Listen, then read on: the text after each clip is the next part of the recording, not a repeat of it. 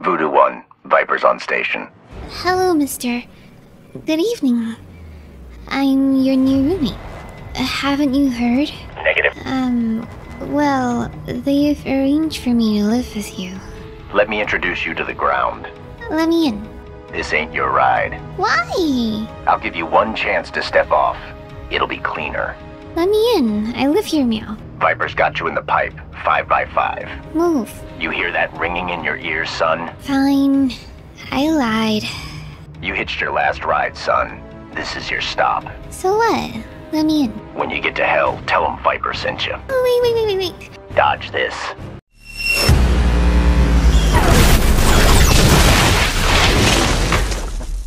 You're just too weak for the skies.